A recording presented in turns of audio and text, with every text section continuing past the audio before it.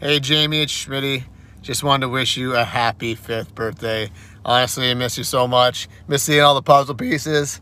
Uh, getting a new picture to put on each of them. Uh, you know, it's uh, been a been a uh, interesting year. So hopefully this next one is uh, this this uh, this fifth birthday of yours is going to be better than ever. And like COVID makes it a little bit tough to see all your friends and fam. Just know that we care a lot about you, family, everybody. Want to wish you a happy birthday as well. And hey, you know what? Five. I think you've graduated into a medium blizzard time. I think you deserve it. It's your birthday.